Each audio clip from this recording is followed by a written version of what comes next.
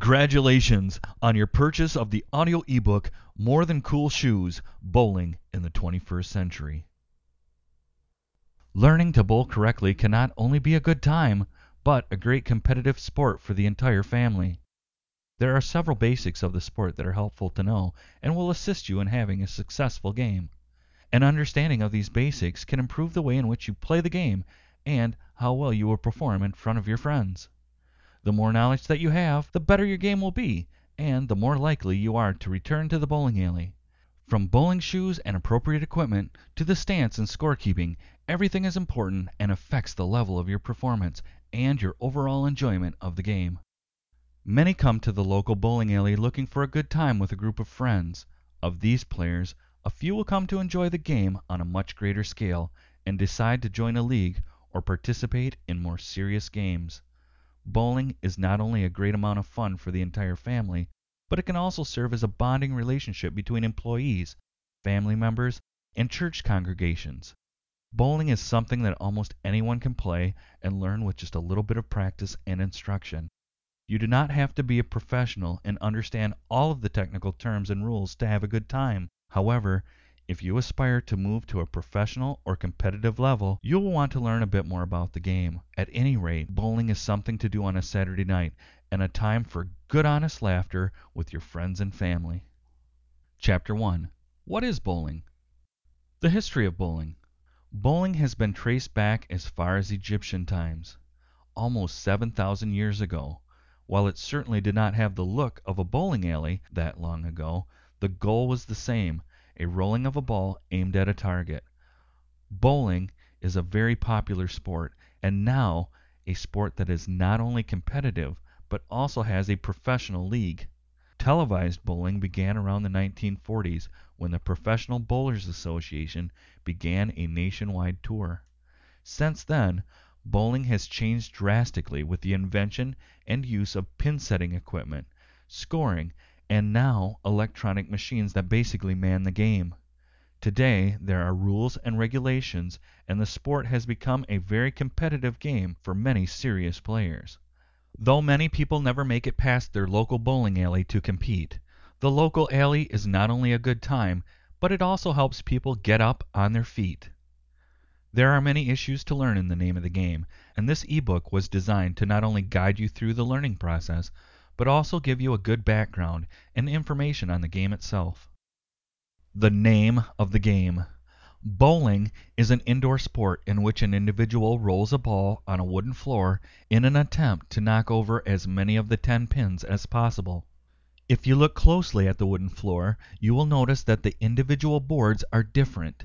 This is because they are a measured distance apart to help with the aiming and picking up of spares. This becomes a great aid in more serious games, and is quite helpful if you just understand the system.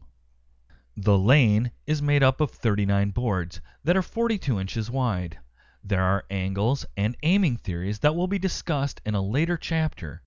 Most players try to line up and guide the ball down on mere visuals and never really understand the dots or arrows on the floor. In order to crack a score of over 200 you will need to understand that you cannot always rely on your eyes alone to knock over the pins. There are many issues when bowling, and to get good you'll need to understand the basics and techniques. Chapter 2 Bowling Basics Bowling Lane Setup In each frame there are 10 pins. This is known as 10 pin bowling. The closest pin to the front is known as the lead pin and carries the number 1. The goal of the game, of course, is to knock down as many pins as possible on your two attempts at rolling the ball. A good angle to take is what is known as the pocket. The pocket method for right-handed people is when the ball is aimed to roll between the number 1 and the number 3 pins, or just to the right of the lead pin. If you are left-handed, however, the ball is aimed to roll between the number 1 and the number 2 pins or just to the left of the lead pin. The illustration on page 8 of the e-book shows the direction and the numbering of the bowling pins in 10-pin bowling setup.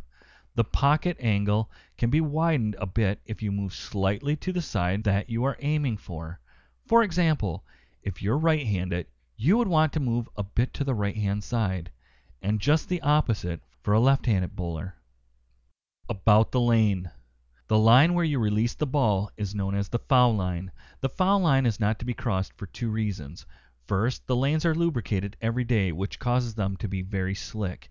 If you cross the foul line you may very well fall. However, if you are lucky and manage not to fall, you could still track oil back into the approach area, making it dangerous for yourself and others.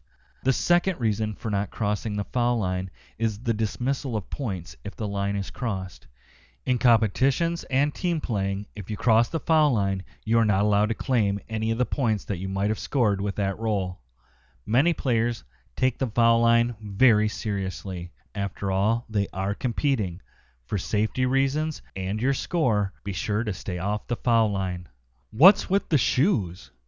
Bowling shoes are perhaps not what you want your first date to see you in. There seems to be something about these shoes that is just not flattering to most people, especially the recreational bowler.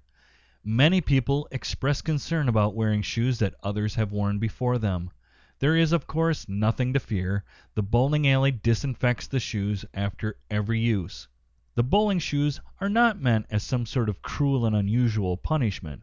They are really designed for a purpose, and that purpose is to benefit you and your game. Bowling shoes are made with a leather sole that allows you to slide when you are releasing the ball. This is very important to your release and builds the momentum of the ball.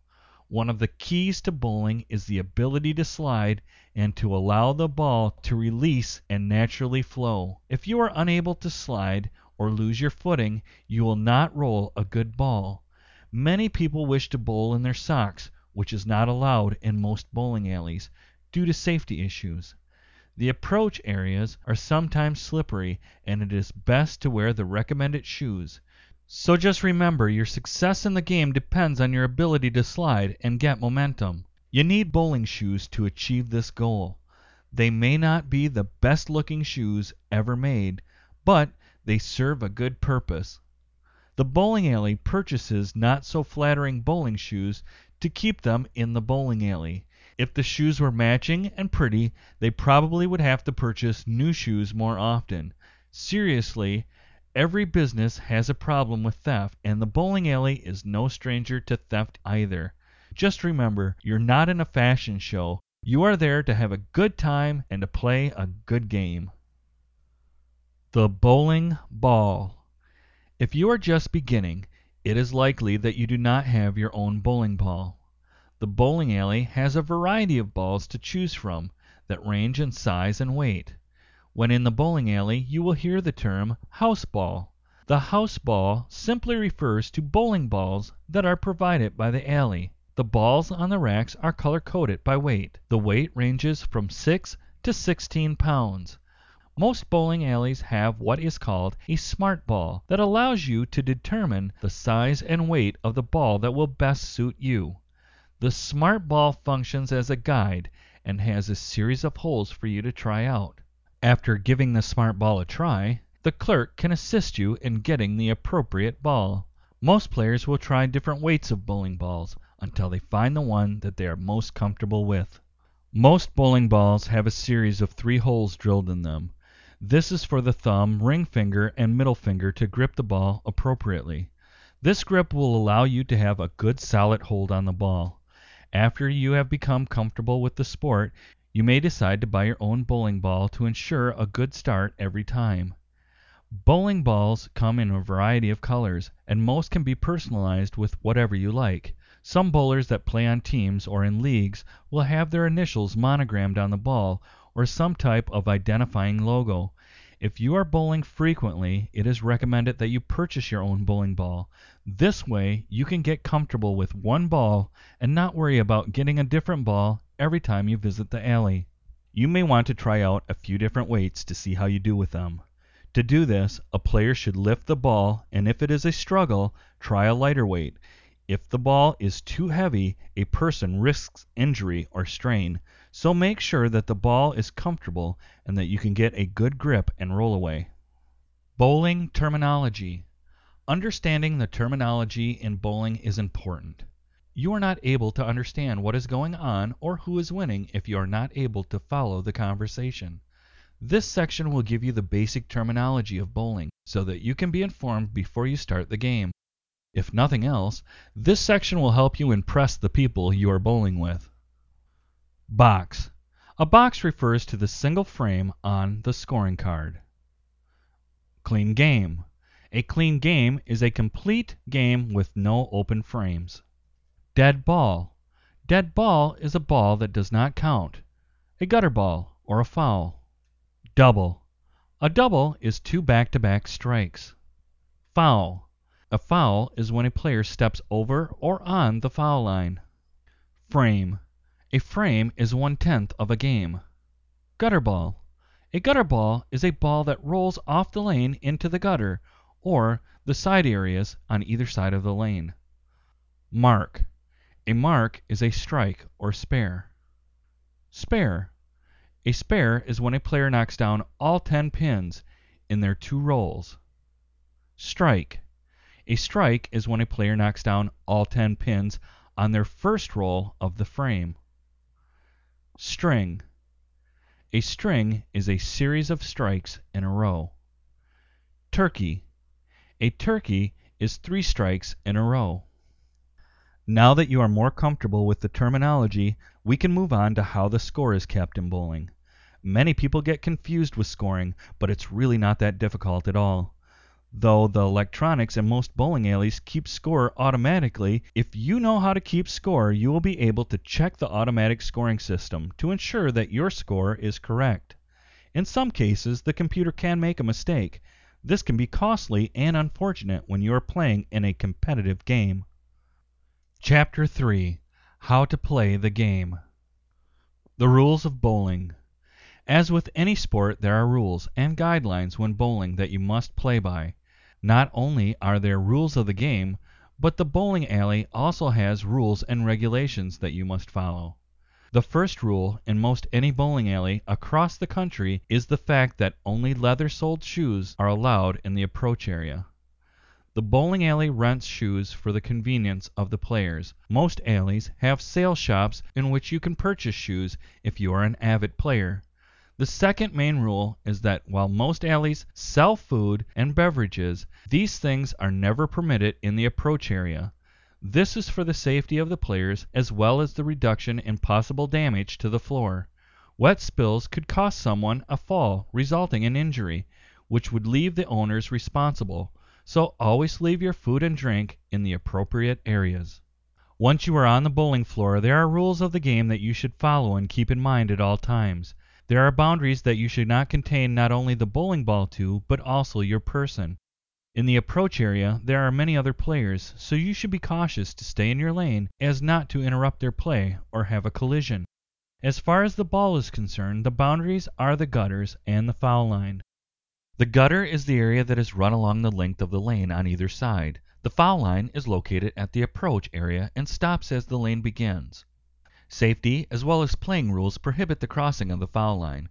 First, the lane is oily and can cause a slippery surface. Secondly, it is considered a foul if you cross the foul line. No points will be given for any pins knocked down on this roll. The foul light and bell will ring if you cross the foul line, so it is no secret if you accidentally step over the line. When bowling in a league or with teams the proper manner to bowl is to complete five turns and then switch lanes with the competition. This practice of alternating lanes is required when playing in tournaments and should be practiced to get into the habit. Each player is allowed two rolls on each frame with no exceptions. However, on the last roll, if the player rolls a strike or a spare, they are allowed to roll the ball one more time to increase their score.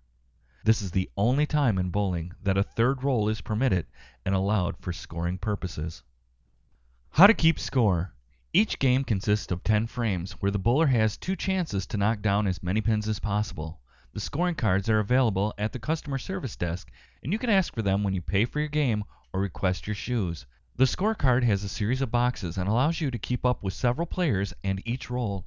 The first roll is entered in the upper left-hand corner of the box and corresponds with how many pins the player has knocked down. On the second roll you record the number of pins in the upper right-hand corner of the box. Each pin knocked down on a roll is counted as one point each. For a strike you use an X to mark the frame box. A strike is recorded and then added to the next two rolls by the player. A spare is marked with a slash in the corresponding box. The score of the spare is only the number of the pins knocked down, and not added to any additional rolls. After scoring the two frames of a player, you can then total the two up and place the score in the frame box.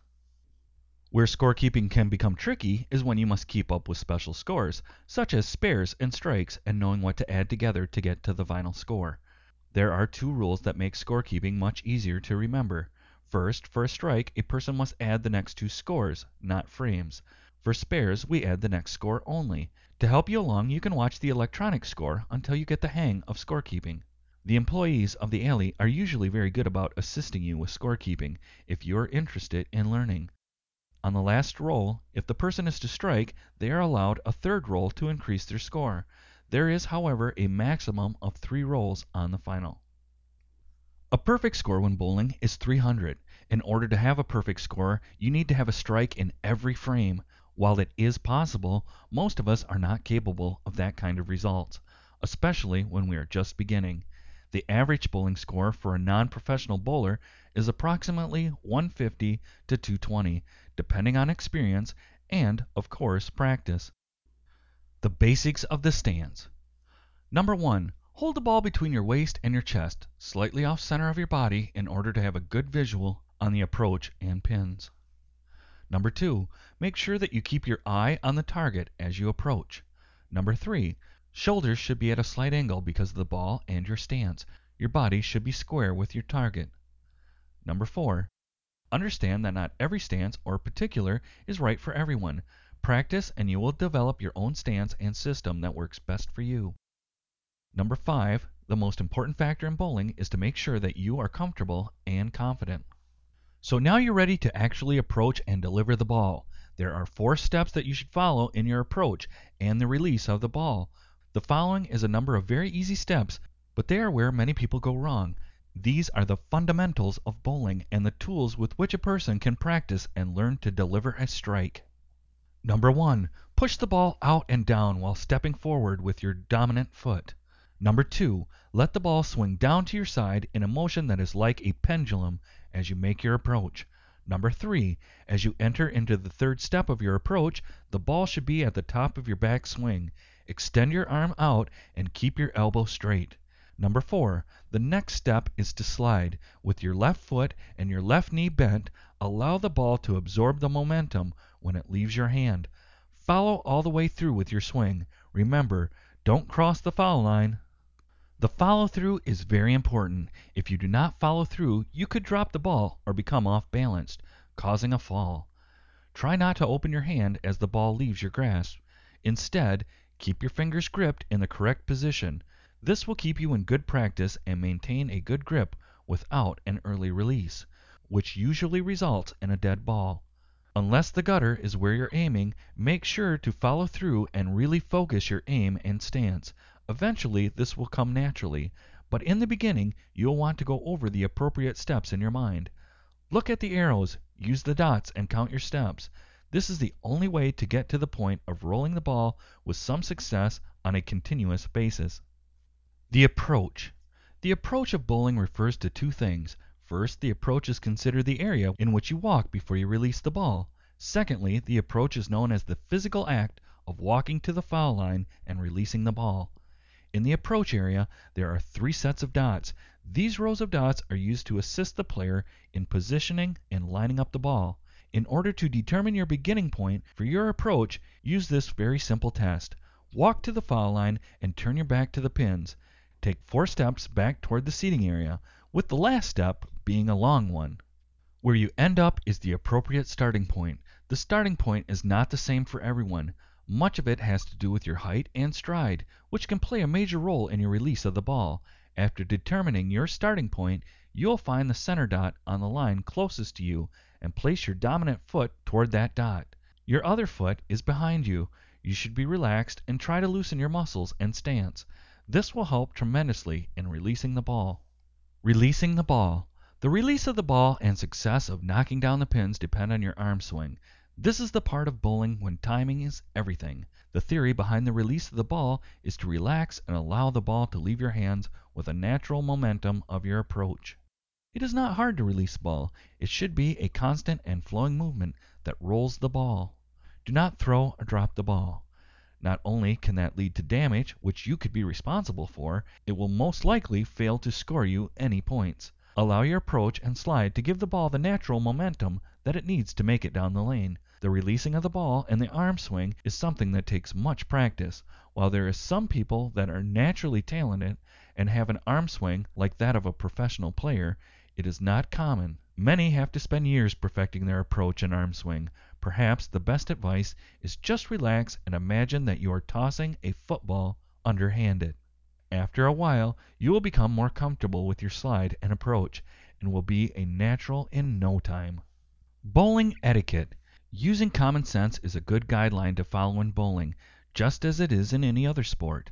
While in the bowling alley there are many types of groups, including families with small children, maintain your temper and cool at all times. If you find yourself frustrated with the game, or another individual, remove yourself from the situation. There is never a good time for inappropriate or offensive language in any sport, much less bowling. Here are a few good tips and etiquette rules to follow when bowling. When you find yourself in the approach area with other players, allow the players that approach first to bowl first. If there is a question about who should go first, the standing rule is the person to the right bowls first.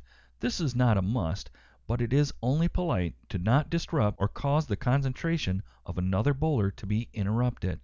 When it is your turn to bowl, make sure that you are ready. Do not be visiting or running to the food court for a snack. Not everyone else wants to wait for you while you are socializing. It is considered extremely rude to keep the other players waiting when it is your turn. There is no need to rush through your approach or turn, but do consider the wait of other players. The pins will not fall from you staring at them. Keep your time to a reasonable playing time. Be considerate and encourage your teammates before and after their approach. Do not yell or shout at them to break their concentration. This could not only cause them to perform poorly, but could cause them to hurt themselves and for them to perhaps hurt you when they get back. Do not use the equipment of another player unless you have permission. Many players spend top dollar on their equipment for their personal use, not yours. Obey the rules of the bowling alley at all times, or you could be asked to leave and not return.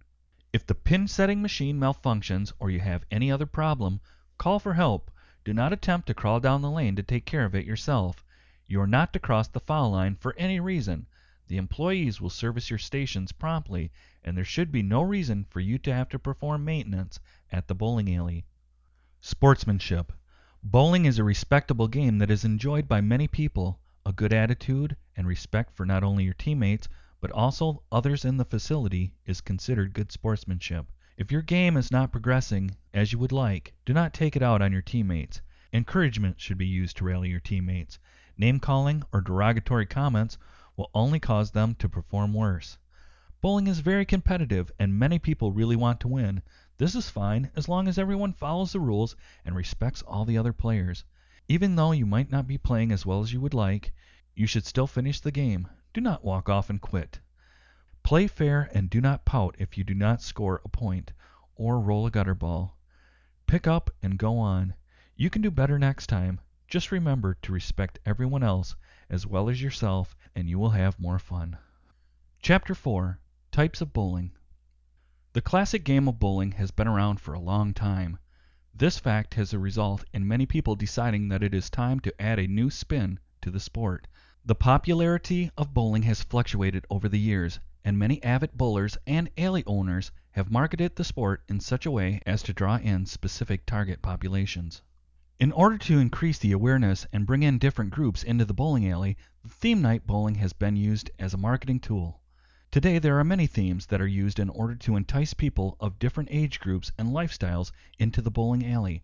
In this chapter, the different themes and techniques that are used currently will be discussed. Music gets the heart pumping and the body moving. The beat of good music is enough to attract most people. People respond very well to music, and bowling alleys have cashed in on this fact. In bowling alleys across the nation there are particular nights designated to different themes. Themes can range from a particular era in history, alternative lifestyles, or a trendy and popular fad at the time that is incorporated with music for a night of bowling. This brings great enjoyment to many people. Many will go bowling simply to enjoy the music show, socialize, and bowl a few games, just because of the theme. Here we will discuss some of the most popular theme nights in bowling at the present time. Extreme Bowling.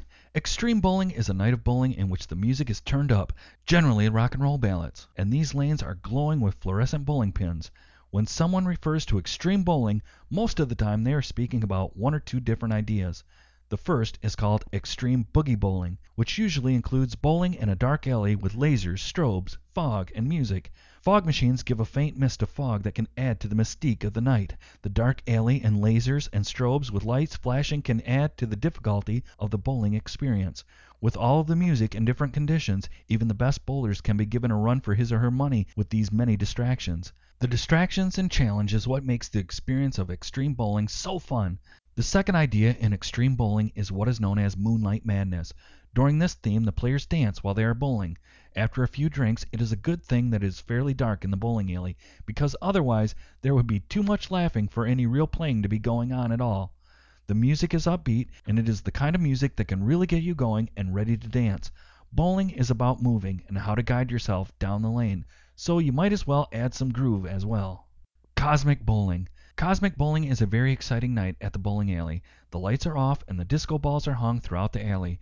In some cases there are black lights that add to the theme. Generally, a few of the lanes are painted so that they will glow in the dark with the help of black light. The atmosphere and the mood of the cosmic bowling experience is really energetic and most people have a great time. Cosmic bowling is also keen to pumped up music, which gets you moving and really adds to the effects of the alley. On nights that the alley offers cosmic bowling the price is a bit more expensive, but it is well worth the extra bucks. There are generally alcoholic beverages served, so you might want to pick another night to take your children, an outing better saved for family night. In some bowling alleys, cosmic bowling is where the entire bowling alley transforms into a cosmic mock solar system environment. It almost looks as though you are walking on the moon and the planets are circling around you. In some cases there are videos playing that carry an astronomical theme. This is by far the most interesting and best display night in bowling. This type of bowling draws all kinds of different crowds from all different age groups. Family Bowling Many families look for activities to get kids up and having a good time without breaking their pocketbook. Bowling is perfect for some family time with kids. Not only is bowling a source of excellent exercise, it also allows children to share and create memories while strengthening the family unit. Most bowling alleys will have family night or a specified time where the entire alley is designated to families with children. In most cases the alley will have a few lanes that have bumpers or gutters that will help out younger bowlers. Most alleys allow children as young as two to bowl, with the supervision of an adult. Family night generally consists of softer music and oftentimes discounts on food and beverages. Bowling is a great way to spend quality time with your children and to help your family bond. The children can get involved and be active. It is a good way for the family to relax and work off frustrations and stress. Senior Night Bowling Many bowling alleys offer a designated time for seniors to get together and bowl. Most of the time on senior bowling nights the music will be older music that caters to an older crowd. Many seniors use this time to socialize and enjoy the sport that they may no longer have the opportunity to participate in on a regular basis. Many nursing homes and other senior groups visit the alley on senior nights and have a great time. Most of the alleys offer senior nights at a discounted rate to help out those with limited or restricted budgets that most seniors struggle with in today's society. Senior night has become a very popular night in many bowling alleys. Bowling has such a long history that it has touched many generations, and seniors find themselves reminiscing about earlier times and truly enjoying their bowling experience. It really helps to keep them feeling young and active. So it is a wonderful thing for them and the community as a whole. Reserve bowling. There are some bowling alleys that will allow you to reserve time for a large group of individuals. From family reunions to birthday parties, your crowd can have a great time bowling. The bowling alley is certainly large enough to accommodate a large group gathering, while having food and beverages already on the premises. Adults and kids alike can enjoy the sport while visiting and spending time with family and friends. The bowling alley can usually be reserved for a fee that includes bowling shoes and a set number of games. The reserve time varies, but can extend from a few hours to an all day event. This depends on the amount of money that you are willing to spend, of course. but the bowling alley will most likely accommodate you as well as they can to your needs, while fitting your and their budget. Reserving the bowling alley can be costly, and some alleys may not allow individuals to reserve an entire bowling alley. In some cases they will allow you to reserve a set number of lanes for a set price. If the reservation of the entire facility is an option you can expect to pay a lofty price, due to the fact that it will cost the alley a night in which they will not be able to sell any games of bowling to anyone excluding you and your group. Bumper Bowling When the word bumper is mentioned in bowling everyone assumes that it is for a child. A bumper is a guard that is placed in both sides of the gutters to prevent the ball from rolling into the gutters. Bumpers are typically used when children are bowling, but in recent years bumpers have become somewhat of a sport in themselves. Many people use the bumpers in order to use them as a guide and a way in which to develop new tricks and ideas. Bumpers seem like a good idea. You never need to worry about rolling into the gutter. It does not matter whether you are a beginning bowler or an expert. It is always a bit embarrassing to roll a gutter ball. Wheelchair bowling. There are many sports that have made provisions and special arrangements in order to accommodate those individuals that have physical handicaps. Many bowling alleys have a block of time set aside in which individuals that suffer from physical disabilities can come in and bowl without fighting the crowd. Since it is more difficult for these individuals to get around, the staff makes sure that the guests are safe and able to participate. Many individuals in wheelchairs are excellent bowlers, and with the right preparations and accommodations they can participate in the sport just like anyone else. Specific theme bowling. In order to reach out to a variety of people, the bowling alleys have incorporated specific themes to appeal to many different age groups as well as lifestyles. There are sometimes reserved in some places that cater to religious bowlers in their city. Christian music is played over the speaker systems, and it is a time for the church group to bowl together as an activity that is wholesome and inviting. Many corporations and even smaller companies have what they call a group night as well. In some cases the bowling alley will offer a discount to certain groups of individuals if they guarantee that they will hold a bowling night weekly or at least every so often. Birthday parties are also a great event for bowling alleys, as birthday parties allow the children to not only celebrate their birthday with their friends but also bowl at the same time. This makes for a great conversation piece at school the next day. Open play. Open play refers to bowling that is self-paced and usually the type of game that beginners play. This is generally a non-structured game that does not strictly adhere to the set rules that would be found in competitive league levels of playing. Most of the time the open play is for the purpose of recreation and socializing with friends. In some cases the individual may become more heavily competitive or interested in bowling and move up to a different level of the game. When people speak of an open game they think of players that stop by the bowling alley for a couple of games now and then. It is not the league or professional bowlers. It is the crowd that comes and goes for social interaction and a few games at the bowling alley. Competitive bowling. Competitive bowling is a very structured game that is usually played by individuals in leagues or on teams.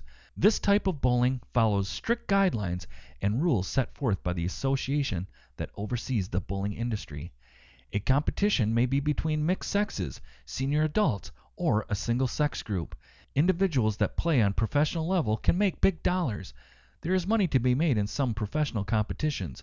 Plus, there are several fringe benefits that go along with sponsors and others that back up teams or a player and their game. Lawn bowling. Lawn bowling is the outdoor version of indoor bowling, but with some big differences. Many people love the outdoors, and this is how the game originated. In lawn bowling, a wooden ball is rolled across an even lawn toward a smaller target ball. This is known as the bowl. Whoever is closest to the target bowl is granted points. Lawn bowling is very popular in Europe, and is believed to be where the game actually originated. Though lawn bowling has many followers, and even teams and leagues, it is not as popular as the classic version of indoor bowling. Candlepin bowling. Candlepin bowling is another form of bowling that allows for a different challenge. There are several differences in candlepin bowling, the biggest being the shape of the pins. The pins look like their name, a candle. The pin is taller and tapered at the end. The ball is smaller and only weighs a couple of pounds. There are no finger holes in the ball, so the approach and delivery is far different. There are still 10 pins, but the player is given 3 chances to knock down the pins instead of 2. The pins that are left standing remain in the area. This means that the player bowls against the pins standing as well as those that he or she has already knocked down. This makes the game a bit more challenging because there are obstacles to contend with. However, the player can use the pins that are down to help knock the other pins over. Candlepin is a good game and is similar to classic bowling, but with a few notable variations. Five pin bowling. Five pin bowling is offered in some bowling alleys and is popular in Canada. Five pin bowling requires exactly what its name implies five pins. The pins are set up in a V style, similar to that of classic 10 pin bowling. However, the bowling ball has no finger holes and is small enough for the bowler to hold in their hand. The bowler is given three chances to knock down all the pins, instead of the two attempts allowed in 10 pin bowling. The smaller balls travel faster and the player is allowed to roll them in succession. If all five pins are knocked down, it is known as a strike and worth 15 points. If the player knocks down all five pins on the second roll, it is known as a spare. For a spare, the next roll counts double. For five pin bowling, a perfect score is 450. Chapter 5 Physical Fitness and Bowling Staying in shape. Bowling requires good flexibility and a good range of motion. Bowling helps burn calories and is classified as a light sport, but it can be more strenuous depending on the weight of the ball and your approach. If you participate in dancing, as in some versions of bowling, you can burn some serious calories. Bowling helps you stay in shape by partaking in a sport and remaining active. When you are bowling, your heart rate is up, and you are exercising many muscles in your body. Anything that involves staying active and requires you to be up and moving is a positive step in the fitness arena. Though bowling is not seen as a heavy or terribly strenuous sport, you should be aware that with the motion and repetition you could fall prey to muscle strain if you do not properly prepare before playing your game. Warming up. There are a few things to do before bowling to get your body ready and ensure that your muscles are ready. If you do not stretch and warm up, you could risk injury. With the weight of the ball and the repetitious movements required during the game, it could cause muscle strain. Just a few stretching exercises will get you ready to bowl a great game. Neck stretch. Put your chin down to touch your chest, or as far as you can get it without hurting yourself. Tilt your head to the right side and hold for approximately 10 to 20 seconds. Repeat for the left side as well. You'll want to repeat this neck stretch about 5 to 7 times per side. Side stretch. Start with your elbows pointed upward and your hand behind your head. With the other hand you'll want to reach and grab your elbow and pull it toward your other side. You should feel a stretch, but if it hurts, do not pull quite so hard. Hold for about 15 to 20 seconds, and repeat for the opposite side. You should repeat for each side about 5 to 7 times. Hamstring stretch. Sitting on the floor, you will stretch out one leg and bend the other leg and foot toward your body. Bend and touch the toes of the extended leg and hold for 10 to 20 seconds. If you are not flexible and cannot touch your toes, go as far as you can and hold it. Repeat for the opposite side. You should try to do about 10 of these for each side. This will loosen your hamstring up and help protect you against injury. Shoulder stretch. With your elbow pointed upward and your hand behind your head, grab your elbow with the other hand and pull toward your other side until you can feel a gentle stretch. Repeat for both sides, changing arms. This should be done between 5 and 10 times. Forearm extenders. With your arms stretched out and your palms face down, drop your fingers. Then, with your other hand, pull them toward your body. Switch hands and repeat 5 to 10 times. General stretches.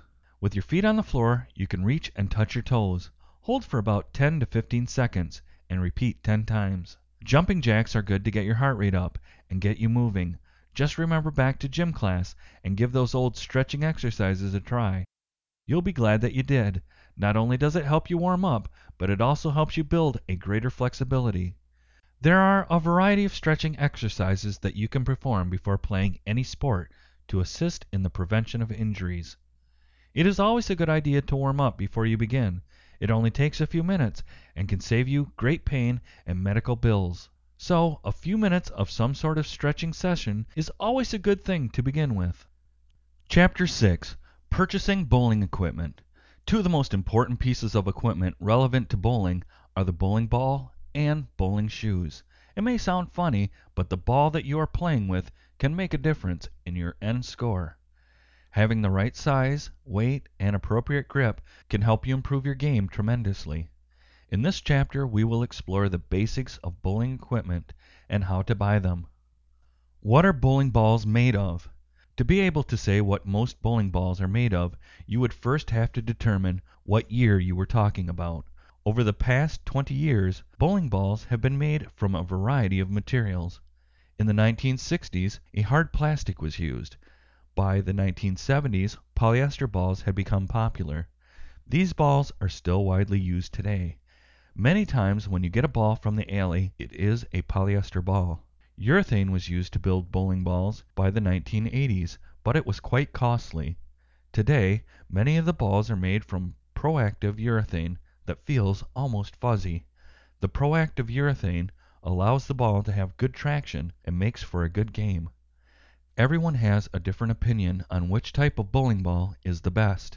It really depends on the person, but you can follow a set of guidelines when making your purchase. The plastic ball. The plastic ball is great for beginners and children that are learning to bowl. The plastic balls do not allow for much of a hook, but they do a good job at staying straight. As the player improves and wants to move on to shooting hooks and other tricks, they may wish to move to a different ball, or more of a performance ball. This is not always the case. There are many professionals that benefit from plastic bowling balls and continue to use them. Depending on the weight of the ball and the design, a plastic bowling ball can cost anywhere from 50 to $150. If you are just beginning, you might want to consider purchasing a used bowling ball until you have some experience. The urethane ball. The urethane material that is used is harder than plastic and gives good traction on the lane. The urethane ball is usually a graduated step from a plastic ball, as it allows for more of a hook and maneuvering by the player. Urethane balls are very sturdy and generally allow a great amount of control by the player. Urethane bowling balls are more expensive and may be more difficult to find. There are many dealers on the internet and you can also check with your local sporting goods store or alley for a dealer in your area. Still, depending on the weight and design, the urethane ball usually starts at about $100. The particle cover stock ball. In the late 1990s, a ball known as the particle cover stock hit the bowling scene.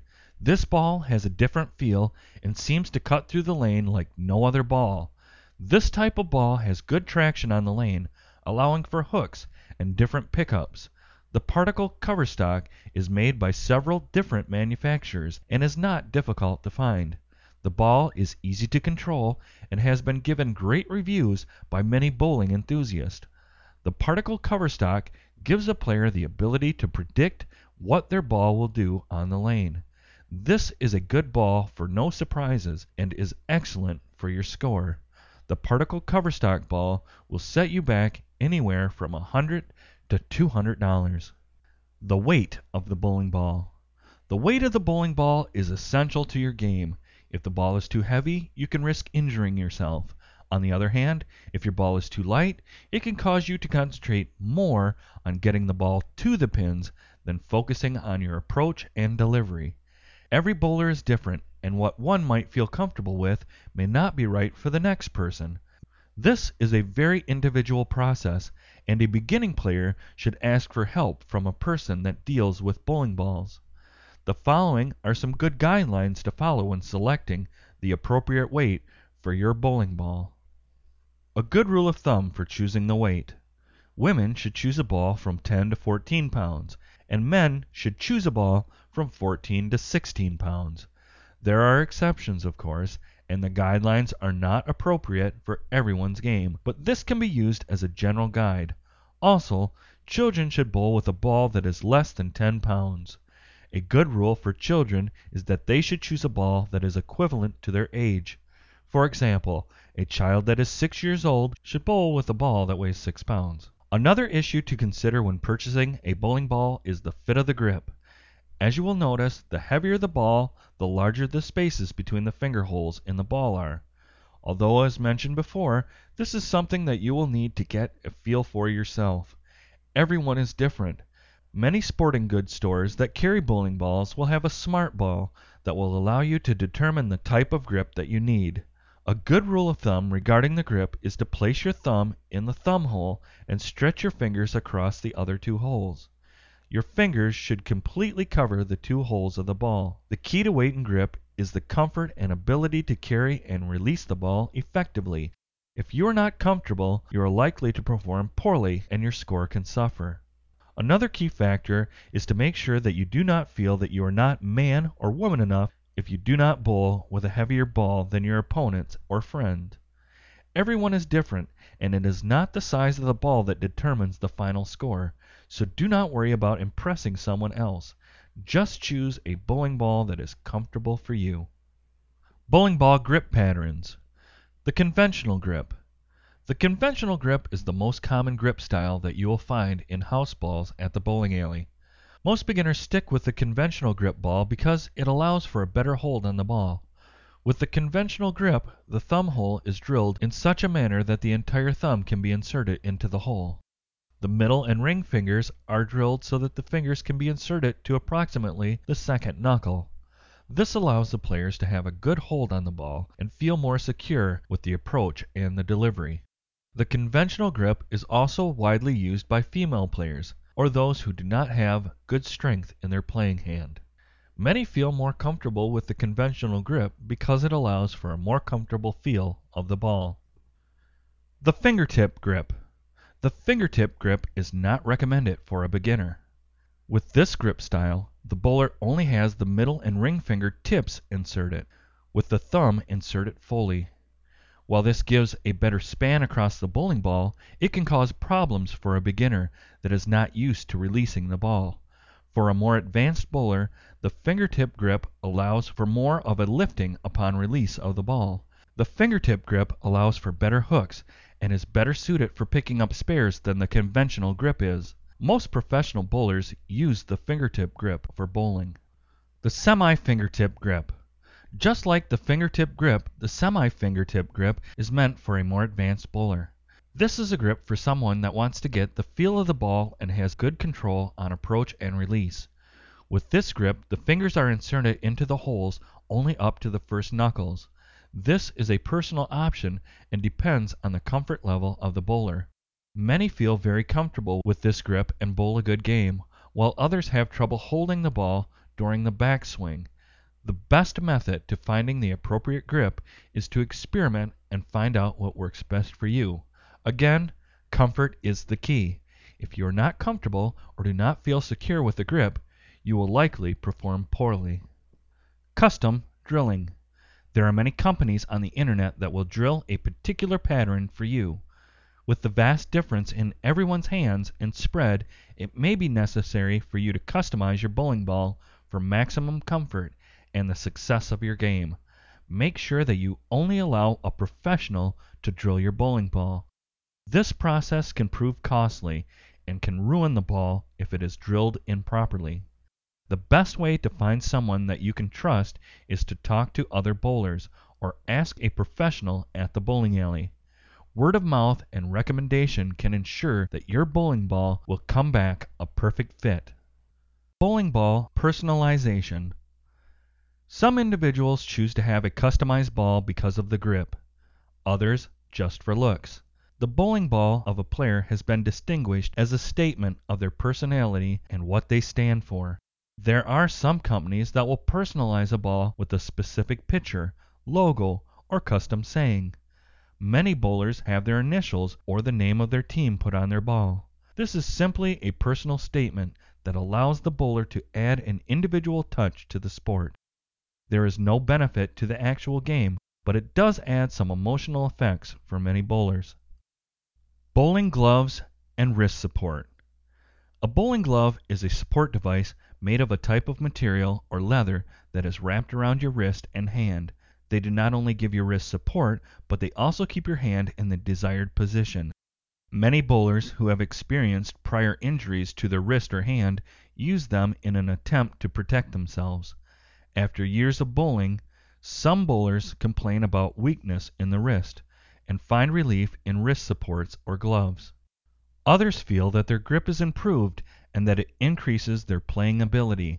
Whatever the theory, if the glove or wrist support seems to help or improve your game, by all means you should purchase one. Gloves or wrist supports can be purchased at most sporting goods stores, as well as some bowling alleys.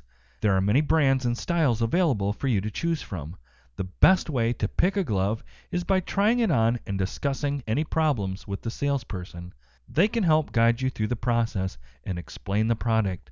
Along with helping support and position, gloves also look cool and give others the impression that you know what you are doing on the bowling floor. Bowling shoes.